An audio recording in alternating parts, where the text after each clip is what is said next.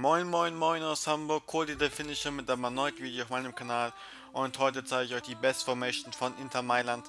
Äh, fangen wir direkt an, im Tor haben wir hier Handanovic, die klare Nummer 1, als Alternative haben wir Cariso, aber Handanovic ist natürlich viel besser, da gibt es keinen Gesprächsbedarf. Dann die Viererkette, ähm, Nagatomo natürlich, ähm, gegen Ansaldi. Habe ich mich für Nagatomo entschieden, einfach aus dem Grund, weil ähm, Nagatomo mit 89 Antritt, 89 Beweglichkeit, 91 Balance und 81 Sprungkraft natürlich mehr als überragende Stats hat für einen Linksverteidiger. Und Ansaldi Stats sind eher balanciert, aber nicht wirklich besser als Nagatomo. Deswegen Nagatomo, der Japaner auf die Linksposition. Dann die Innenverteidigung haben wir Morello und als Alternative haben wir Andreoli, aber ich habe mich für die beiden entschieden, weil sie einfach besser sind. Miranda ja sowieso und Morello gegen Andreoli können wir ja mal die, kurz die Stats vergleichen. Da hat Morello viel mehr Pace, ähm, Sprungkraft hat Morello auch ein mehr, äh, Antritt sowieso mehr, Beweglichkeit auch mehr, also Morello ist besser, äh, meiner Meinung nach. Dann Rechtsverteidigerposition haben wir Santon gegen De Ambrosio. Beispiel seine Ausdauer, was mit 82 sehr gut ist. Er hat auch ein Rating mehr, spricht natürlich auch für ihn. Ähm, Antritt hat der Ambrosio mehr, Sprintgeschwindigkeit haben sie gleich. Und ähm, sonst hat De Santo noch einen Punkt mehr Flanken. Also die tun sie eigentlich nicht so viel, ähm, die beiden. Das sind eigentlich sehr ausgeglichen. Das kommt immer darauf an, mit wem ihr besser spielen könnt. Aber ich würde jetzt Santon aufstellen. Ähm, ja.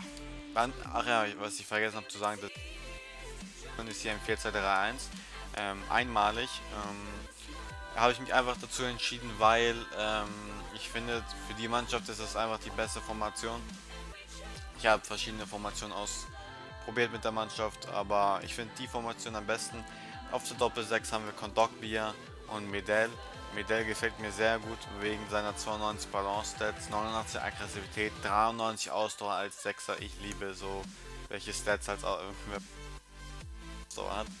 Ähm, 91 Sprungkraft, sprich die Abschlüsse oder die zweiten Bälle, allgemein die Kopfbälle gewinnt er dann auch meistens. Dann als auf der anderen 6 haben wir hier Kondokbier, der auch eine sehr gute Ausdauer hat, mit 84 Stärke auch noch sehr solide, 86 Schusskraft auch noch. Und als Alternative haben wir Felipe Melo, aber ich habe Melo ausgetestet und irgendwie, zwar hat er ein besseres Rating, aber irgendwie ist er ein bisschen undynamisch und auf der 6 finde ich schon, dass man ähm, 69 Sprintgeschwindigkeit, ähm, 69 Antritt, genauso wie Kondokbär, also da tut sich nicht so viel. Äh, Stärke haben sie gleich, Kondokbär hat 10 Ausdauer mehr und das ist mir halt persönlich wichtiger. Dementsprechend Kondokbär aber da kann man ausprobieren, aber ich nehme Kontaktbär in dem Fall. Dann die Offensive Perisic, Ivan Perisic, ähm, der bei der EM ja so geglänzt hat. 86 Sprintgeschwindigkeit, 83 Dribbling, 83 Schusskraft, seine im letzten FIFA. Ähm, sehr solide Stats, kann man nicht nichts sagen. Ähm, fast alle, eigentlich alles grün, außer jetzt zum Beispiel Balance hier. Ähm, auf der rechten Seite haben wir, den kennt ihr natürlich alle, Biabiani.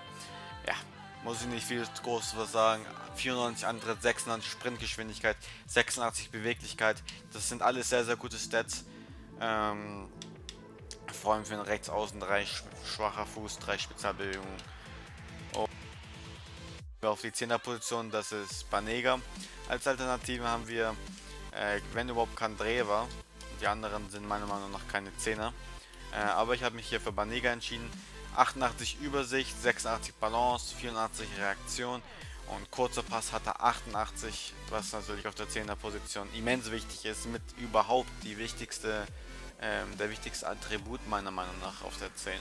Dementsprechend habe ich mich für Banega entschieden und im St ja, als Alternative Jovetic, Eder, Palacio und Kandreva.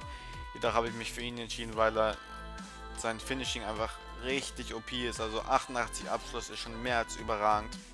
87 Stellungsspiel, 90 Sprungkraft, sorry. 82 Reaktion, das ist sehr gut.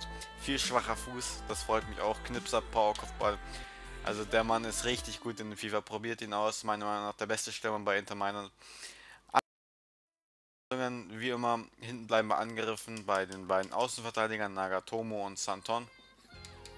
und Stürmer Abwehr überlaufen und Abwehr könnte unter Druck setzen. Ähm, die Doppelsechs habe ich so gelassen, ähm, RM und LM und der 10 habe ich auch so gelassen.